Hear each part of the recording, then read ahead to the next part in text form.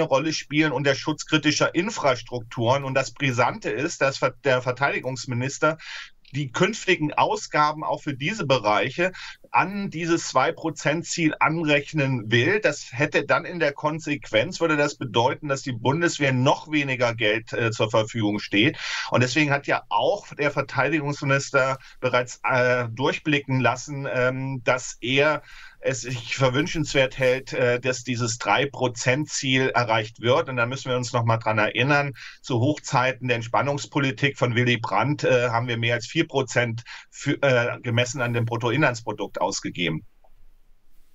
Und auch wenn wir uns von den Zahlen mal ein bisschen lösen, während wir weiter auf die Pressekonferenz des NATO-Generalsekretärs Stoltenberg warten, wie wehrfähig ist die NATO? Allein Finnland hat ja zum Beispiel eine 1300 Kilometer lange gemeinsame Grenze mit Russland, an der Putin jetzt auch weitere Soldaten und Waffen stationieren will.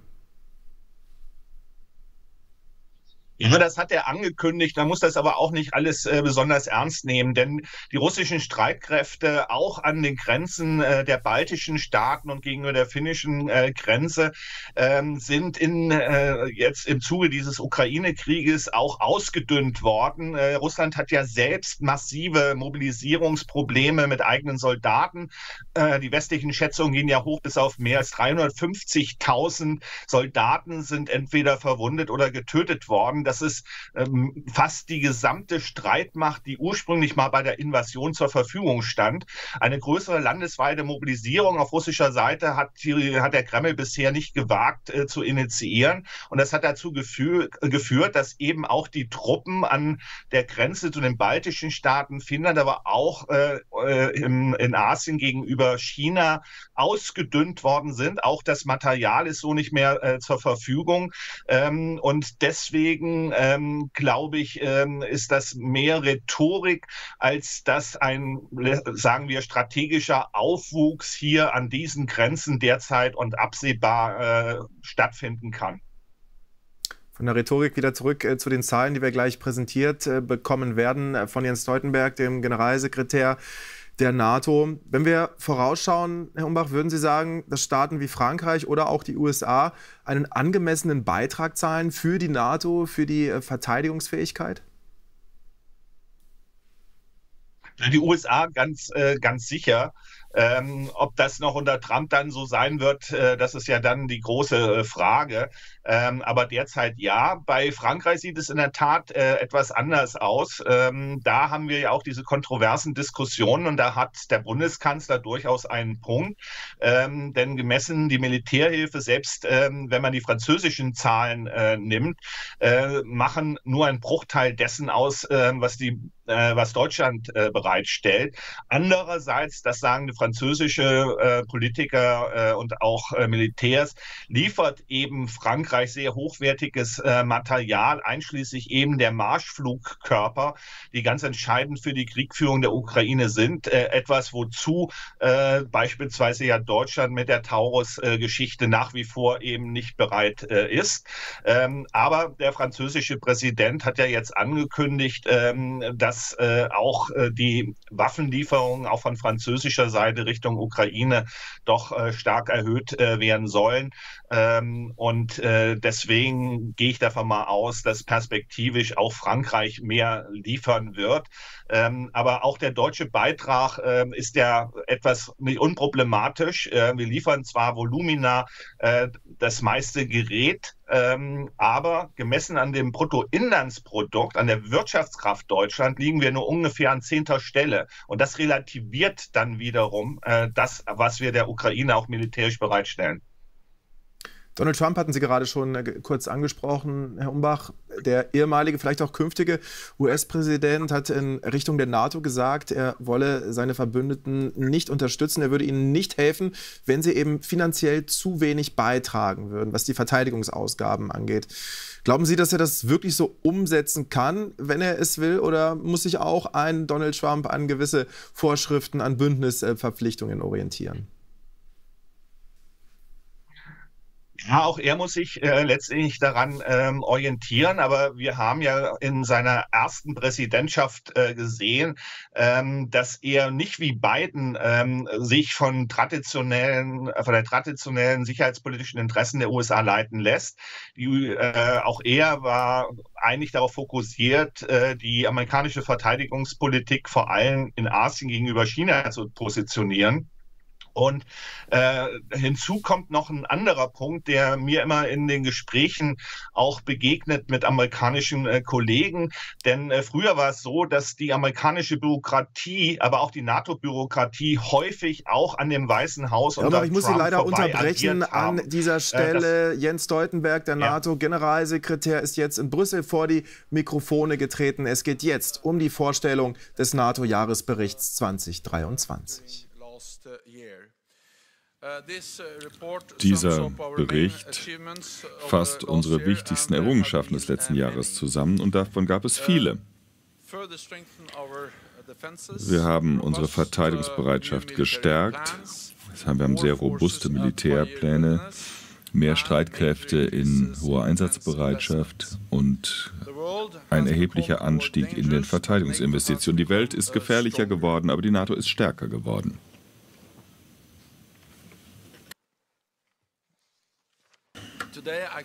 Heute kann ich ankündigen, welche Ergebnisse unsere letzte Umfrage ergeben hat bei allen Verbündeten.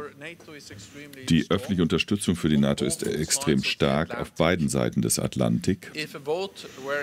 Würde jetzt abgestimmt, dann wäre eine überwältigende Mehrheit der Bürger in allen Bündnisteilnehmerländern für die NATO und würde da zum Beispiel in den Vereinigten Staaten haben sich nur 13 Prozent gegen die NATO ausgesprochen.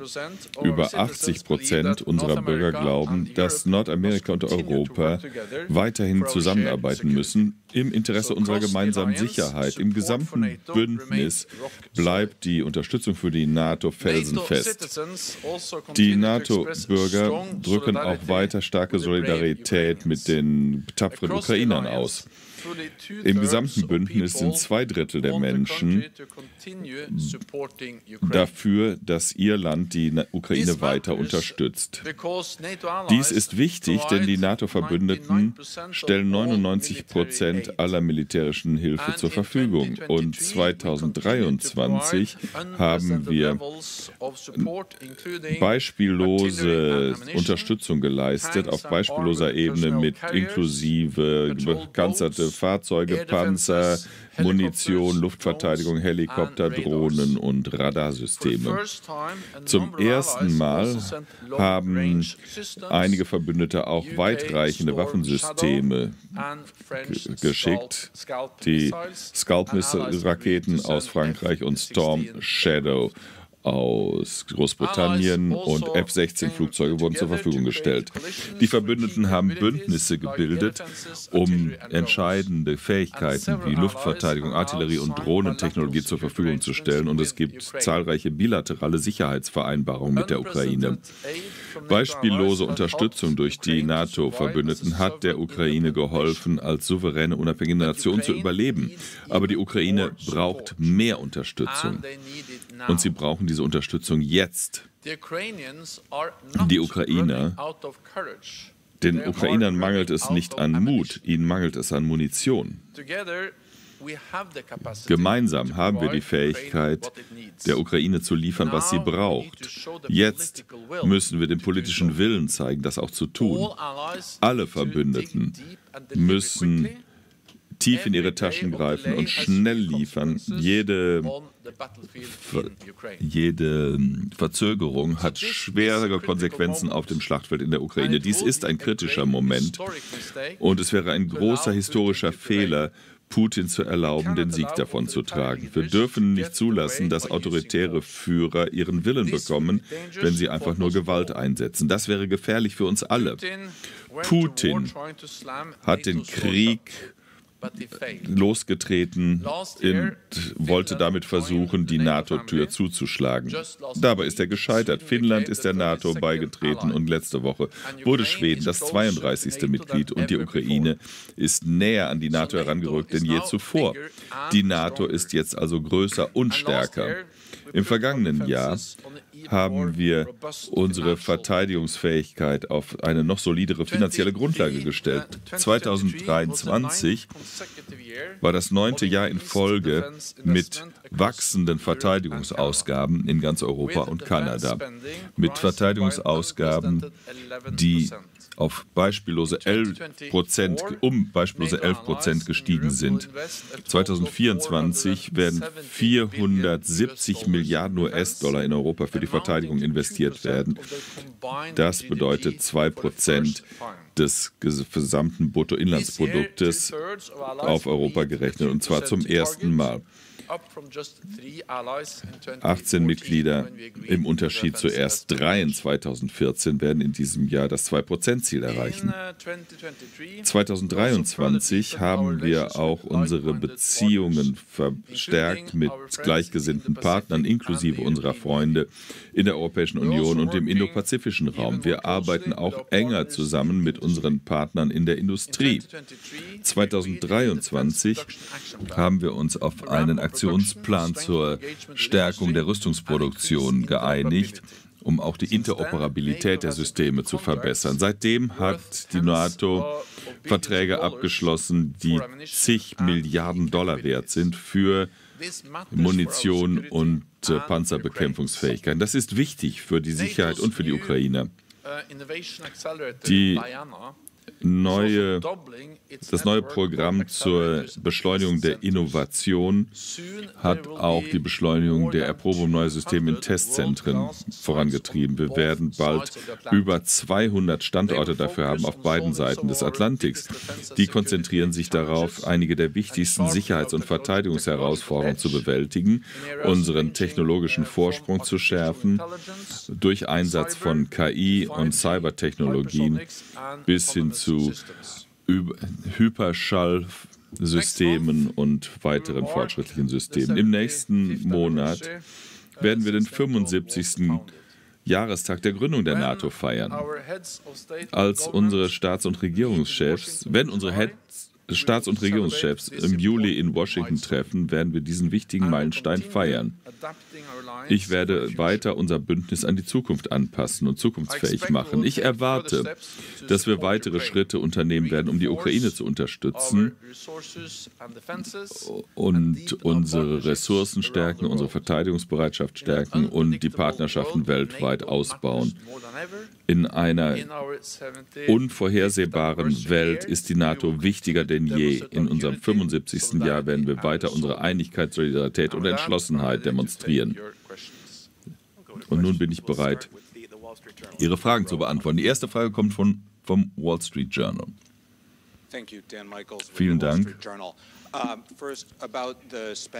Zu den Verteidigungsausgaben der Mitglieder. Wann werden Sie die Zahlen für 2024 veröffentlichen? Sie sagen ja, dass zwei Drittel bereit, bereits mehr zahlen und Sie haben nur die europäische Gesamtzahl genannt. Und was das Hochfahren der Industrieproduktion von Waffensystemen betrifft, das ist ein gemeinsames Ziel der NATO und der EU.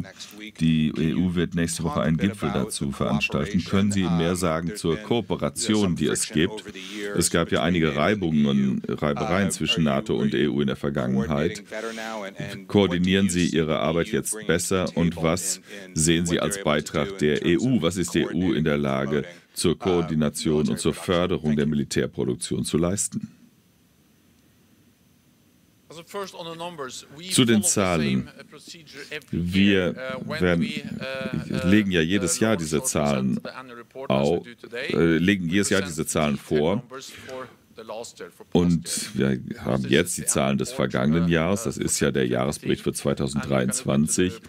Und Sie können sich da die Zahlen im Detail anschauen für die Verteidigungsausgaben in zusammengefasster Form, aber auch für jeden Verbündeten einzeln sowie die Darstellung der Entwicklung über die Zeit auch preisbereinigt. Wir haben jetzt nur vorläufige Schätzungen für 2024. Wir werden bessere Daten haben, wenn wir den Bericht vor dem Gipfel im Juli veröffentlichen. Es ist noch nicht klar, wann wir den Bericht vorlegen, aber das wird im Sommer passieren. Auf jeden Fall vor dem Juli-Gipfel in Washington. Wir haben dann genauere Zahlen. Zum Teil, weil wir dann alle Entscheidungen kennen werden oder mehr Entscheidungen kennen werden, die in den Ländern der Verbündeten getroffen wurden. Wir wissen, dass einige Verbündete jetzt neue Haushaltsentscheidungen treffen. Wir haben dann zuverlässigere Schätzungen für das Bruttoinlandsprodukt. Und wenn wir uns jetzt nicht nur die Verteidigungsausgaben anschauen, sondern die Verteidigungsausgaben als Prozentsatz des Bruttoinlandsprodukts, dann sind beide Zahlen natürlich wichtig. Und wir haben dann im Sommer bessere, zuverlässigere Schätzungen für beides. Vorläufig gehen wir davon aus, dass zwei Drittel der Verbündeten das 2% erreichen werden 2024. Und das zeigt deutlich, dass die europäischen Verbündeten gemeinsam bereits 2% des Bruttoinlandsproduktes ausgeben für Verteidigung. Aber wir müssen nun abwarten, bis wir genaue Informationen über die einzelnen Länder vorliegen haben, damit wir eine präzisere Einschätzung abgeben können. Ich hoffe, dass die Zahlen weiter wachsen werden bis uh, zum Gipfel in Washington. Heute hat Norwegen angekündigt, dass sie in diesem Jahr das 2%-Ziel uh, uh, erreichen werden. Das ist ein weiteres Beispiel dafür, wie die Verbündeten ihre Haushalte anpassen. Bis Juli werden wir also all diese Zahlen, diese Ankündigungen im Überblick präsentieren können. Uh, Zu den Verteidigungsinvestitionen. Die NATO hat die europäischen Verbündeten aufgerufen, die Investitionen in die Produktion von Rüstungsgütern zu stärken und das hat das seit Jahren so getan. Damit muss man also mehr ausgeben. Das ist eine, die Hauptbotschaft der NATO an alle Verbündeten, insbesondere an die europäischen Verbündeten. Ihr müsst mehr ausgeben für Verteidigung. Und so langsam verstehen die Verbündeten das auch und haben begonnen, die Ausgaben zu steigern. Und äh, Jetzt werden also Aufträge erteilt, werden Bestellungen aufgegeben, um sicherzustellen, dass die Industrie investieren kann und in Fertigungskapazitäten investieren kann. Alles bewegt sich also in die richtige Richtung.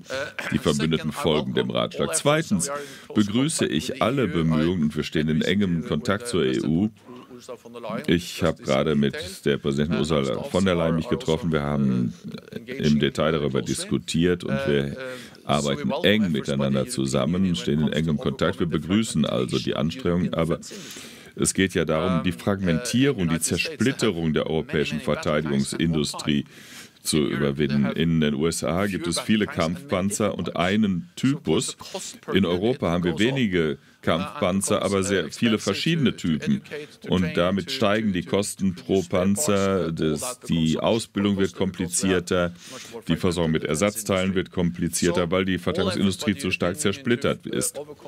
Also alle Bemühungen der Europäischen Union, diese Zersplitterung zu überwinden, werden gut für die NATO sein. Und dazu ruft die NATO seit langem auf. Und ich begrüße alle Bemühungen in diese Richtung. Wichtig ist dabei, dass die NATO die Organisation ist, die Ziele definieren muss für FECE. Man kann nicht zwei Systeme haben, die zwei verschiedene Ziele formulieren für die gleichen Länder. Man kann nicht die EU und die NATO unterschiedliche Zielvorstellungen präsentieren für Deutschland, für Dänemark, für Polen, die dann vielleicht sogar widersprüchliche Ziele sind. Also, wir brauchen klare Ziele für Kampfpanzer, Schiffe, Flugzeuge. Und das muss eine Institution machen. Und das ist die Kernverantwortung der NATO, die Verteidigungsplanung und die Definition der Ziele, damit die verbunden sind. Das uh, definiert dann die Anforderungen und den Bedarf. Und das kann in Verträge dann gegossen werden. Zweitens, wir brauchen auch nur eine Institution, die Normen formuliert. NATO-Standards für die Interoperabilität, für Kommunikation, für die Austauschfähigkeit von Munition und Systemen. Das ist ein wesentlicher Punkt. Darum geht es ja bei der Definition von Standards, von Normen. Da kann man nicht zwei unterschiedliche uh, Systeme haben. Uh, und die EU-Verbündeten repräsentieren 20 Prozent der Gesamtausgaben der NATO für die Verteidigung. Die NATO repräsentiert 100 Prozent, also muss die NATO die uh, Standards formulieren, die Normen festsetzen. Und das sind Kernaufgaben uh, der NATO. Und das kann nicht äh, auf zwei Institutionen verteilt werden, weil sonst untergraben wir unsere Verteidigungsfähigkeit. Und die NATO hat auch eine wichtige Rolle zu spielen, wenn es um die gemeinsame Vorbereitung geht. Wir begrüßen verschiedene Formate und unterschiedliche Formate, aber die NATO-Behörde für Beschaffung hat wichtige und praktikable Verfahren für gemeinsame Beschaffung entwickelt, was auch der Industrie voraussagbare Grundlagen für ihre Investitionen bietet. Also das ist auch wichtig, dass die Beschaffung von Rüstungsgütern vereinheitlicht wird mit gemeinsamen Prozessen. Und die EU-Partner sollten sich darauf konzentrieren, was sie an Mehrwert beitragen können und sollten nicht bei der Definition von Zielen, von Normen oder von Beschaffungsverfahren mit der NATO konkurrieren. Wir brauchen wirklich eine gemeinsame Beschaffungsarchitektur. Eine Frage von der italienischen RAI. Was sind Ihre Erwartungen im Hinblick auf die Wahlen in Russland, insbesondere jetzt? Denn Präsident Putin hat ja gesagt, es gäbe die Möglichkeit, Truppen entlang der Grenze in Finnland zu stationieren. Freie und faire Wahlen sind ein Kernelement jeder Demokratie. Demokratie und die Wahlen in Russland werden weder frei noch fair sein.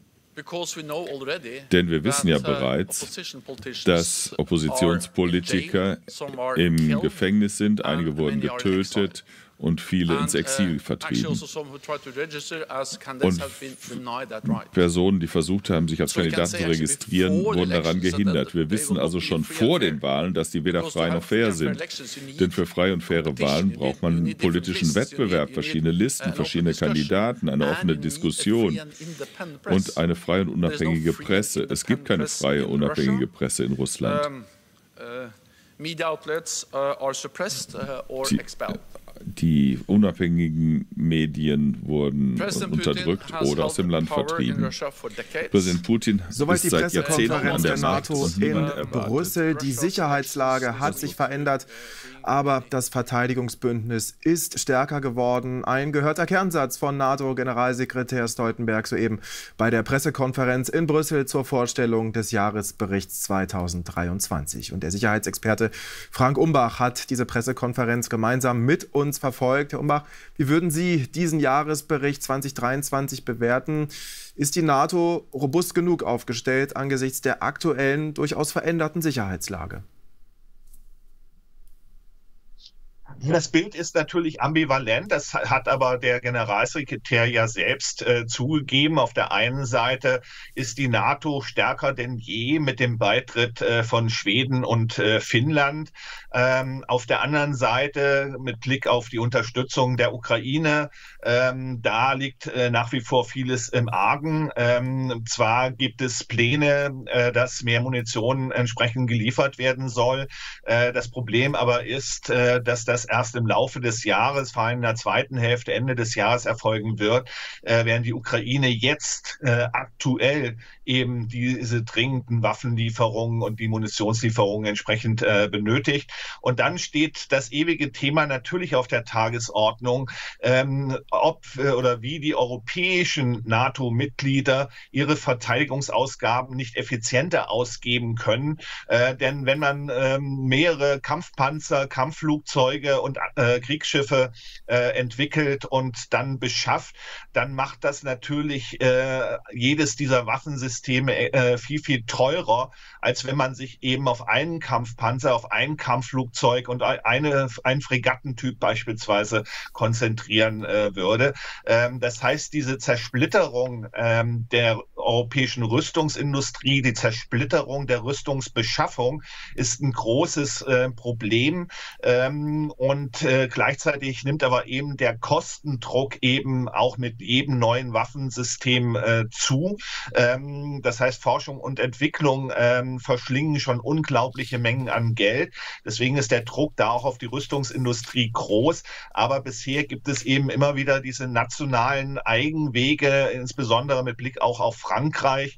Ähm, und die müssen entsprechend ähm, überwunden werden. Da muss es mehr Koordination und politischen Willen entsprechend geben, diese Verteidigungsmittel sehr viel effizienter entsprechend künftig einzusetzen.